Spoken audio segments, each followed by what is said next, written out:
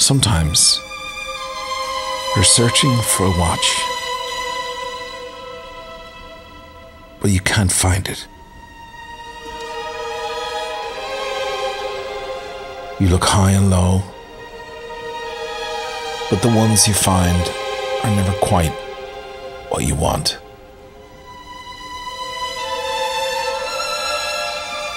And then, somehow, watch finds you. It stood into your path and waited. And all you needed to do was keep walking. That's what happened to me with this watch. Since I was a very young man, I always wanted a classic dress watch. To me, was the symbol of elegance and maturity. Something that would fit like a fine suit. When I started collecting watches, I considered this watch to be exactly that.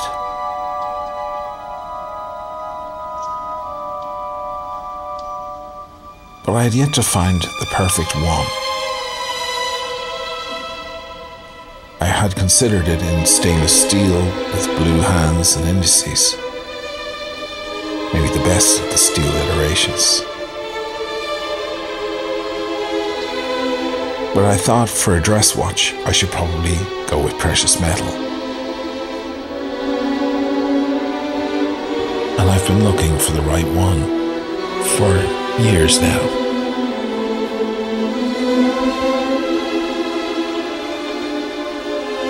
So I let go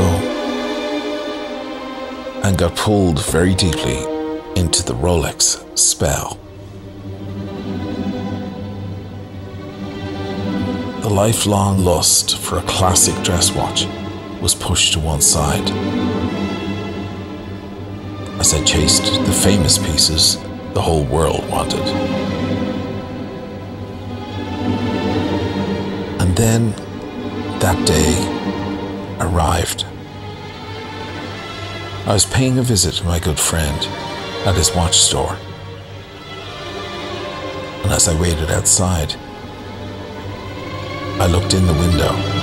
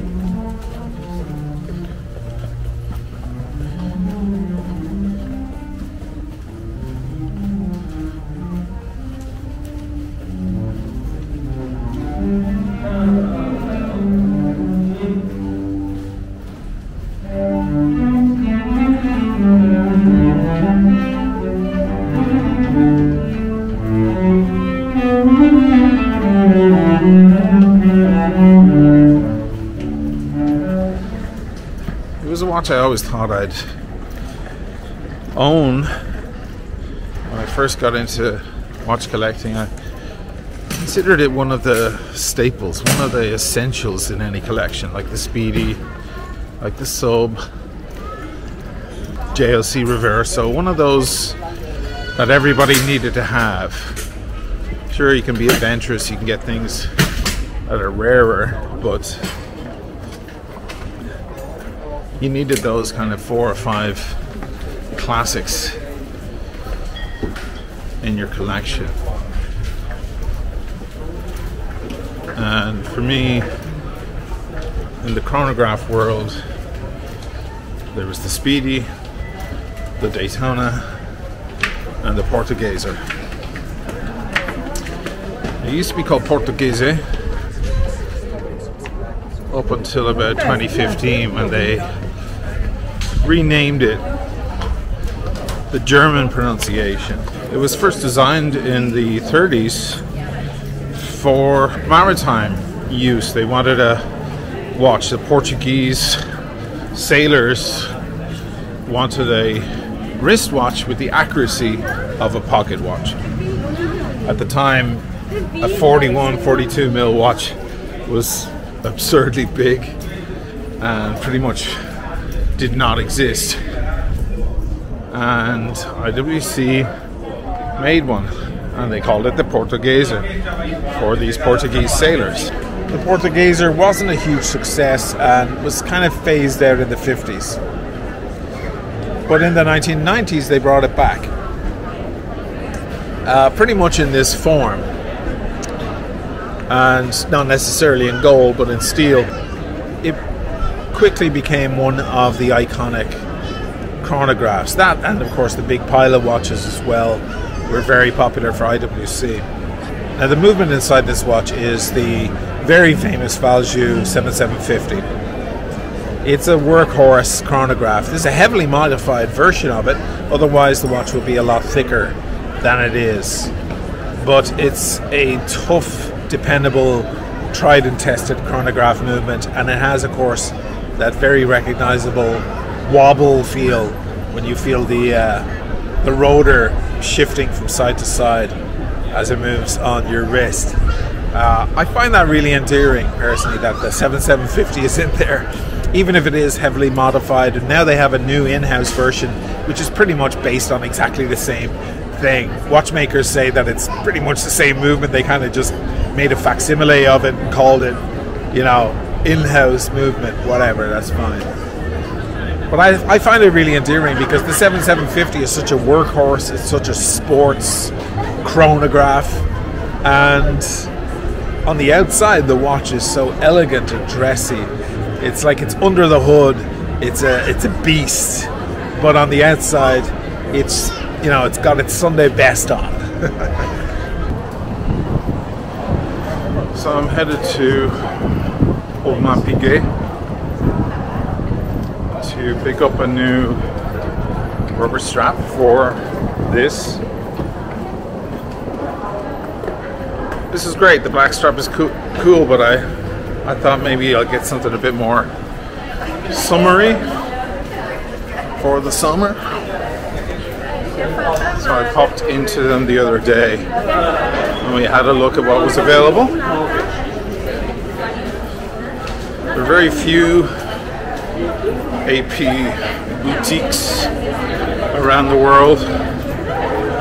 My home country of Ireland doesn't even have one.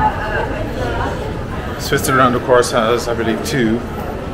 And I think there are three here in Italy uh, Milan, Roma, and right here in Venezia on Piazza San Marco, no less. Kind of making that move over to AP. It's just super classy. I mean, I haven't been in there in a long time. They don't know the channel, I don't think. And I walked in the other day to ask about straps, and they were like, Mr. O'Malley, correct? And I'm like, wow. I don't know them. I've been in there all of twice, I think. So, there's the Rolex AD. There's the new uh, you're king. Look at that. I haven't been into these guys in a while. Here's a nice watch. And the Master Blue Dial. All exhibition only, of course. We all know the story. Sad situation with those guys honestly, I'm really not. I'm really happy to just walk past them, continue around the corner to AP. Feels like I'm walking out of a loud nightclub and into a nice restaurant.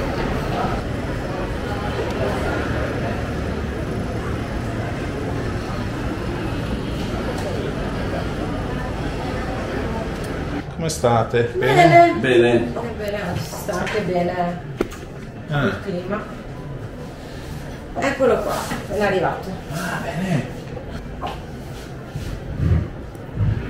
Prego, prego, siediti, ci vorrà un po' di- del tempo. Ok. Siamo offerti un caffè, un goccio d'acqua, Una- un'acqua naturale, frizzante. frizzante, grazie. Gentilissima.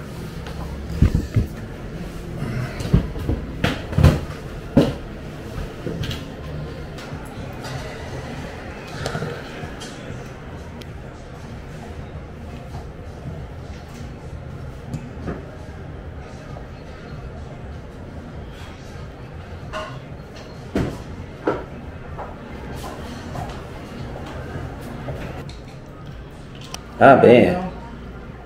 Bello finché non suonano le campane. Quando suono alle 3 e alle 7 è un, è un. Rotto Si ferma tutta la vita, non si può fare più niente. Devi aspettare. Io abitavo in Campo San Giacomo Uh-huh. e abitavo di fronte alla chiesa quando suonavano le campane, non potevi più fare niente perché. Ehi, cosa? E Cosa? infatti. Scrivimi! Cioè, bene, tutto a posto tu? Ah, ottimo, perfetto. Ecco qua. Sì, sì, tutto a posto. Su quale buco? Vediamo. Uno, due. Terzo buco. Terzo buco mi Sì, sì, sembra. sì, Da, da sopra terzo buco mi sembra. Ah. Ecco qua. Va bene. Ecco qua. Perfetto, ci vediamo Buon- domani mattina. Ciao, ciao, ciao. Proviamo. Ah, guarda che bello. Bello, eh? Sì. Ah sì, più, più vivace, più da estate. Sì, sì, da- proprio da estate. Proprio da estate. Domani mattina ci posso Sì, salutare sì, Nicola. so, so che arrivava, mi aveva detto. Allora. Ecco l'altro cinturino, qua. Oh, che bello. Volevo volevo buttare via? No. No, no, no. Mamma mia, no. Ma cos'è? Un eh, irlandese oppure? Irlandese. Irlandese, giusto? Ah sì, Infatti io mi ricordo il, il cognome Amali. ah sì. Oishin. Oshin. Oshin. È un nome vecchio. Proprio irlandese, irlandese. Proprio. E c'è la- l'attrice che si chiama. Sir Sharona. Saorsi, eh, si scrive Saorsi. Saorsi. Infatti lei era su Stephen Colbert.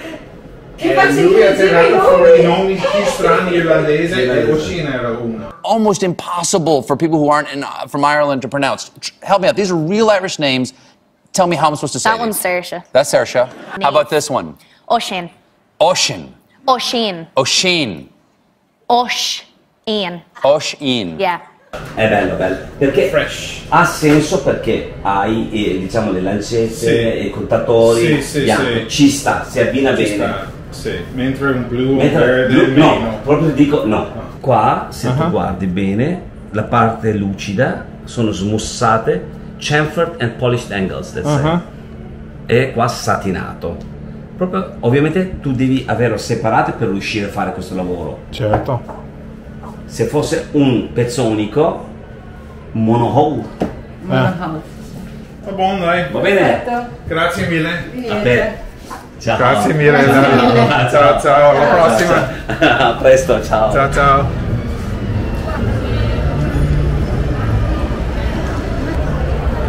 I mean, could you get nicer staff than that? Extremely friendly, very accommodating. Mind you, they said the wait for pieces, a Royal Oak, five years, they said at least.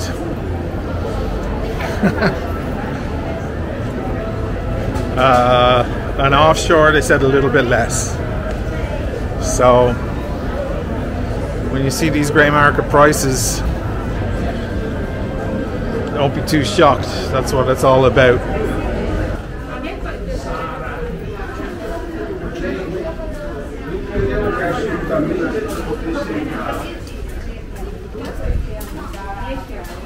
What watch channels do I watch?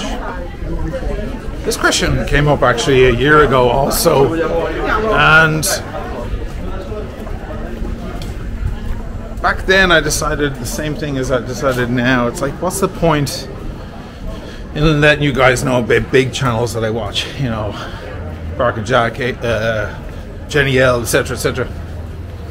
You already know those channels, and they don't need the the plug.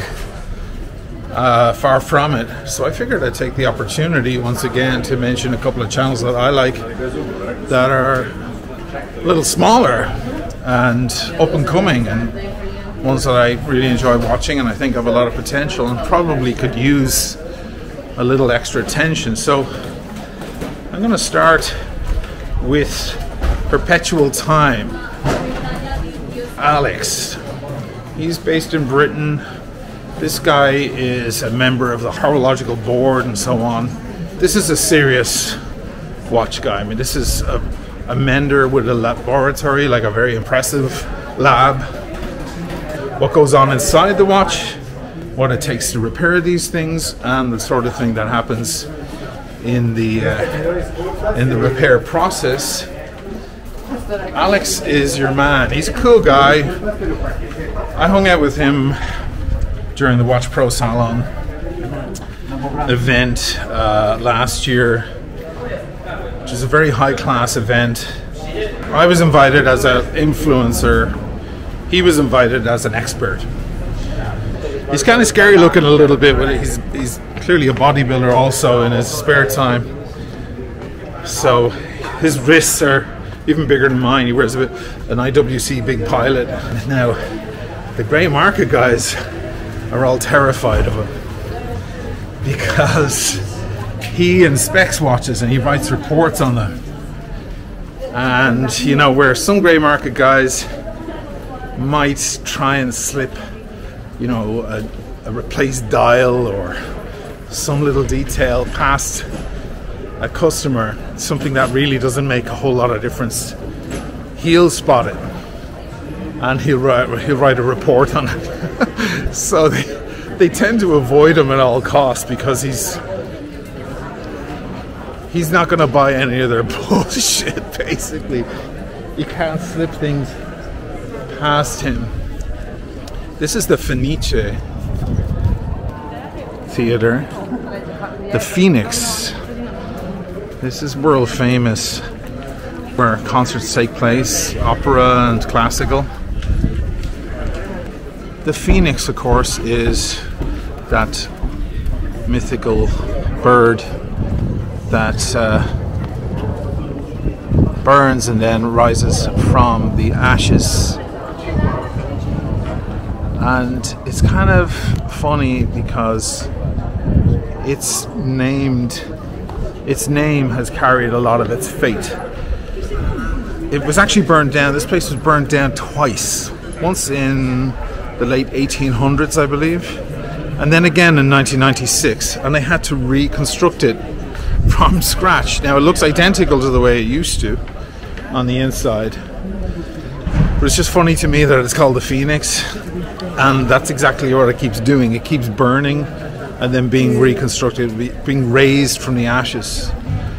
Kind of a fascinating building. If you're into opera or classical concerts, that is the place to go.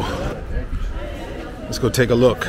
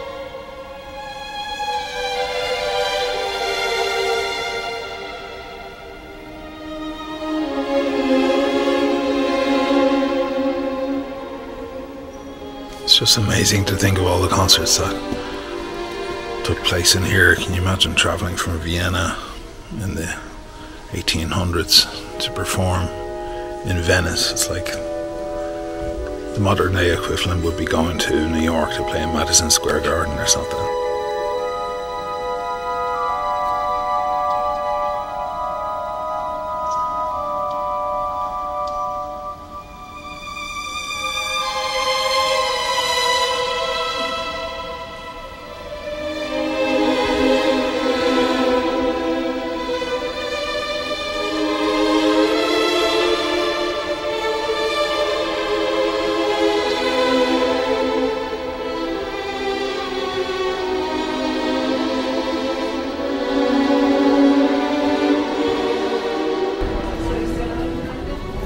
Bloody amazing place.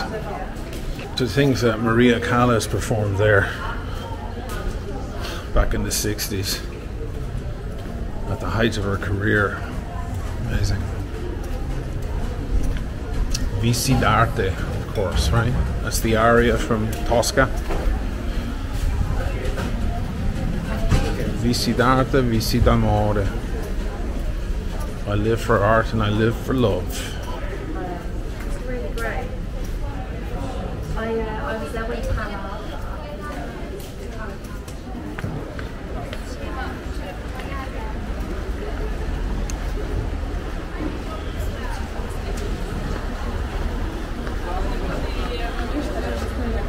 The second channel I want to recommend is a little bit like my channel in the sense that he's just an enthusiast like me and he does some nice photography and uh, and he's a drinker. Christopher Negroni. I don't know if Negroni is his real last name. If it is it's a pretty cool last name. But uh, his channel is really cool. His editing is excellent, and I think one thing I love about his uh, his vibe is he kind of goes after the the vibe of what it's like to have the watch on, rather than staring at the watch itself. He'll do you know footage of him making a Negroni or making coffee in the morning or driving his car, and the watch is just on. The watch is his companion. It gives you a much more natural vibe about what it's like to have a beautiful watch on as you go about your day. And for that reason, I think his channel is very cool, very relaxing, very stylistic. And I think in a in a world where we've got far too many of these sales guys, you know, standing around a room lecturing all their staff who look bored out of their minds, or going to sushi dinners and talking about the sale price of watches or whatever. I think we need a little, little bit more warmth in the hobby. And if you like the Jenni Elle's and the Adrian's, Bark and Jack, and so on, these channels that remind you what we're all doing here in the first place, loving the watches. I think Christopher Negroni is going to be one of the great new ones. He's very chill. I'm very fond of one of the shots where he, he uh, lets the Rolex sub just sink into the Negroni drink. I wonder how long it took him to get all the sticky sweet vermouth off the thing later. All these channels, I'll leave a link in the description down below. Delicious.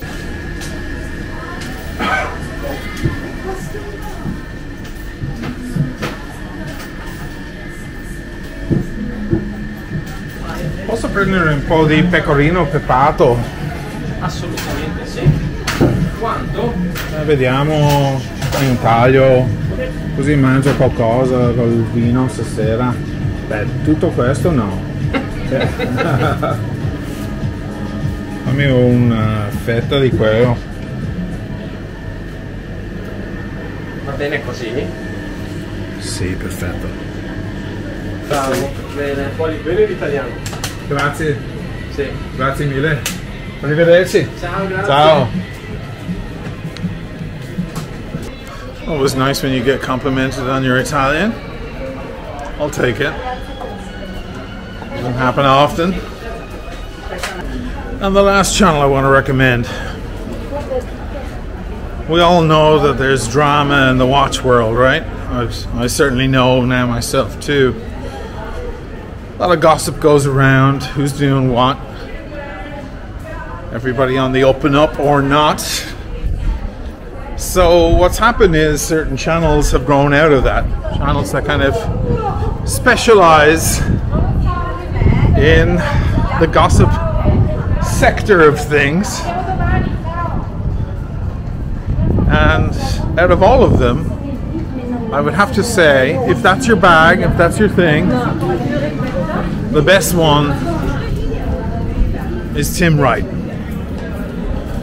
He's always on. He's on every day, at least twice. even three times. I think he does two every night, and he covers all the all the yip yap. We watch crowd can be like worse than a pack of hens sometimes with our gossiping and our rumors and our bad mouthing and all of that. Tim is always on the scene when that Moonswatch shit happened. He was in London in line with everybody else, getting crushed. Thousands of people around him. The guy is uh, he's invincible. And he's uh, he's always around. He's doing coverage whenever there's a uh, a watch event like the London Watch Show or something. It's almost 24/7. The guy practically films his life. I don't know how he does it to be honest. But if you're into that kind of thing, you want to know what's going on behind the scenes in the watch world. Tim is your man. God knows he's put in a lot of work. I think he's at 6,000 subs. Give him a sub. He's more than earned it. More than earned. This is fun. I'm having fun. I'm having so much fun, guys. This is the best day of my life.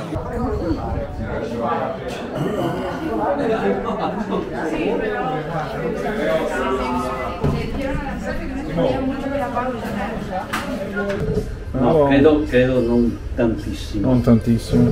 Però io l'ho bevuto dopo tre anni, caspita, l'ho sentito, era ancora bello. Ah. Bisogna aspettare un po'. Ah sì. Sì. Altrimenti, come vini anche che non, sinceramente non è male, è il Montessori che è un Sangiovese. E San Sangiovese Giovese, in to- purezza. Toscana. Ok. Ah, dai, no, prendo il barolo, là. Vai- lode- vai sul lodero, vado sul sicuro. Ok. Non si può sbagliare. Che dopo mi trovo con bottiglie che non mi piace. Poi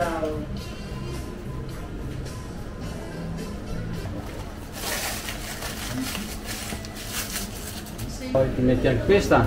No, No? eh, anche dentro sì, forse sì. Dai, prova. Ci sta? Ah, va bene, meglio.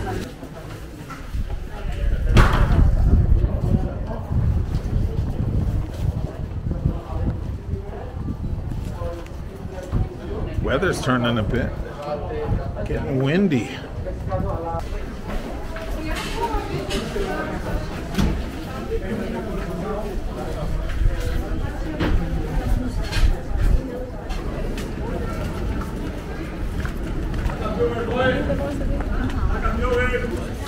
Not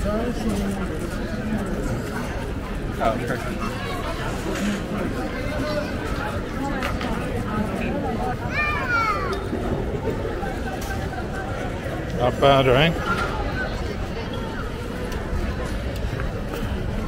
A few drops of rain coming in. Better get under the awning here. Everybody's making a dash for the inside.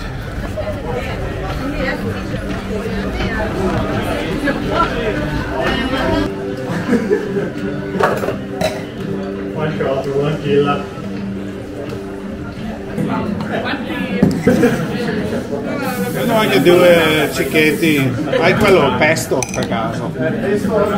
No, vabbè. Ok. Ok, fai due, basta. Grazie.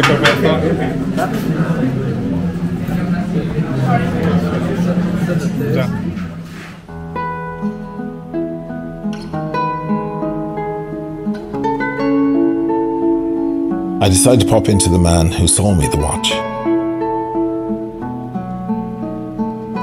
Simone Frollo and his family have generations in jewellery and watch sales here in Venice. Like his father and grandfather before him, he's one of the most trusted jewelers and watch experts in the area. He's also my good friend.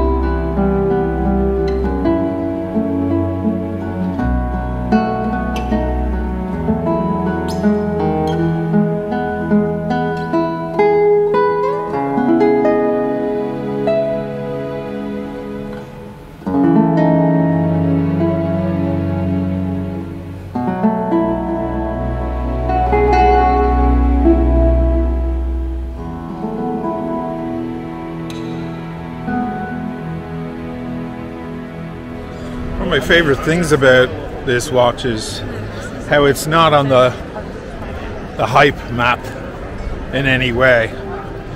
I found myself buying watches I didn't necessarily need or maybe I could put the money elsewhere, but because there were hype watches, mostly Rolex, I didn't mind because it's kind of like putting money away for the future. Not necessarily looking to make a profit, just want to enjoy the watch for a bit and don't really have anything to lose. I can always sell it on. But that doesn't mean you truly love the watch. That means you're playing it safe. That means you're not taking any real risk for the thing that you really think is beautiful. And that was what was happening with my collection to a large degree. And with this Portugieser, I really feel that I got it because of how beautiful it is, how elegant it is, and how much it suits me. I think it's an important thing to remember what we're all doing with this stuff. These are beautiful timepieces, and they're very much about the elegance and the grace of the piece. In life, we don't have to make pretty things. No one had to build that that basilica there in such a manner. No one had to make all these columns so beautiful and decorate all these all these windows so they would have been just as functional if it was just a building with a door if those windows were just square but would it be the same you know an apple watch is more than enough watch for most people tells the time extremely accurately and does all sorts of other things. But it's not just about function, is it? In fact, the first Apple Watches that came out included a gold one. Do you remember that? They got rid of it, nobody was buying it. It was 17 grand. I think that shocked people a lot. Certainly shocked me. And I think what they were trying to do is kind of ingratiate themselves over to the jewelry side of what a watch is. They were never going to do it that well. It's a digital item, it's never going to have that beauty of a mechanical watch. I don't think an Apple Watch is a graceful and beautiful thing. I don't think it's the same as a suit or a wedding dress or a bouquet of flowers doesn't make sense to walk around with a bouquet of flowers in your hand. It isn't going to serve you any purpose other than the idea of it, other than the beauty of it. What we've done as a species is we've come up with these nice things, things to make life a little bit prettier, a little bit more enjoyable. You know, you pop open a bottle of champagne and it sprays all over the place, or bubbles out. I'm sure there are lots of new technologies now that would stop that from happening, where you could open a champagne bottle very silently and cleanly and all of that. But do we want it? No. We wouldn't have it. We want it to make a mess. We want it to be loud and cheer when it opens. Some things we just want because they're pretty. High heels for a woman are uncomfortable to walk around in but they make her look so much more beautiful and they make her feel more beautiful. This is why we love beautiful watches. Just like buying a suit, it's like putting some flowers or a painting in your apartment. It's just making life that little bit richer.